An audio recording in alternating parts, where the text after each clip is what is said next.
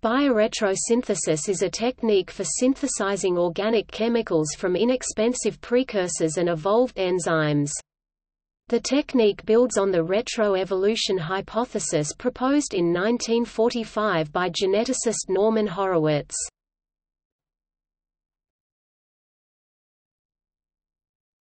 Topic: Technique The technique works backwards from the target to identify a precursor molecule and an enzyme that converts it into the target, and then a second precursor that can produce the first and so on until a simple, inexpensive molecule becomes the beginning of the series. For each precursor, the enzyme is evolved using induced mutations and natural selection to produce a more productive version.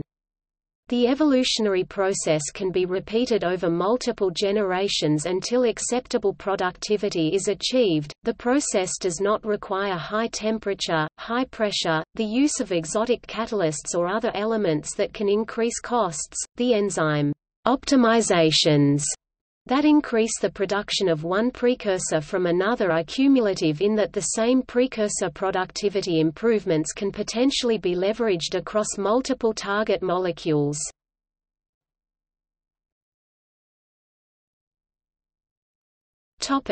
Didanosine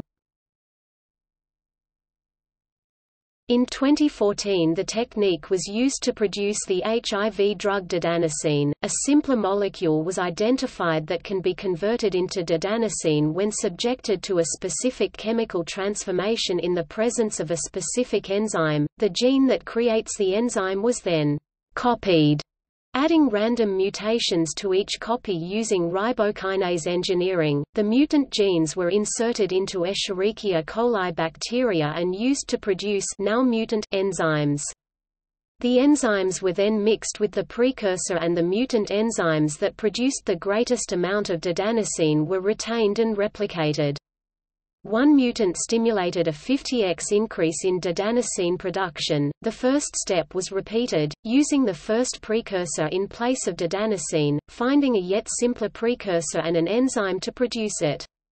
One mutated enzyme produced a 9500x increase in nucleoside production. A third retrogression allow them to start with the simple and inexpensive sugar named dideoxyribose and produce didanosine in a three-step sequence.